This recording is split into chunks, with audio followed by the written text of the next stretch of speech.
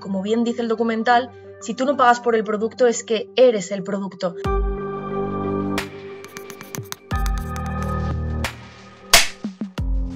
Creo que el pensamiento crítico es la clave para realmente luchar contra esa montaña o esa oleada que nos llega a las redes sociales, al menos ser conscientes ¿no? de que estamos sesgados y de que a las redes sociales les conviene que lo estemos. Por eso el pensar, el tener ese pensamiento crítico y el pararnos un poco a decir, oye, ¿esto es real? ¿Alguien me está manipulando? ¿Esta información es veraz?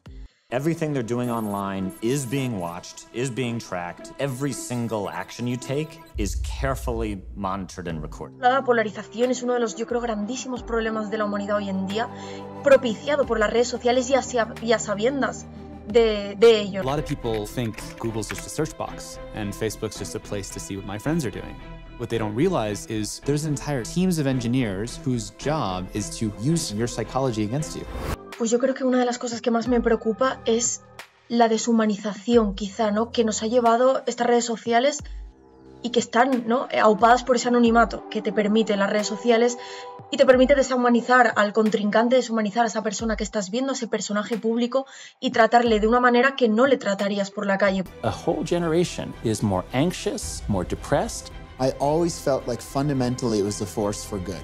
I don't know if I feel that way anymore. Es valiente, ¿no? Es valiente ese tipo de voces. De hecho, se refleja que algunos en el documental tienen hasta miedo de hablar por las consecuencias que pueda tener. Es incluso curioso, ¿no? Pero por suerte tenemos esta visión, que sí que es catastrofista, ¿no? Del documental, pero que también nos da por fin esa perspectiva. We built these things and we have a responsibility to change it. He sacado mi último libro, Eureka, que no es otra cosa que un poco de conocimiento científico de la historia de la ciencia para que valoremos dónde estamos ahora y más en el momento que nos encontramos, ¿no? Es cada, cada vez más importante conocer el trabajo científico desde dentro, lo que hemos luchado también para llegar hasta aquí, para, para valorar como lo que tenemos ahora, como puede ser, por ejemplo, el tema de las vacunas, ¿no?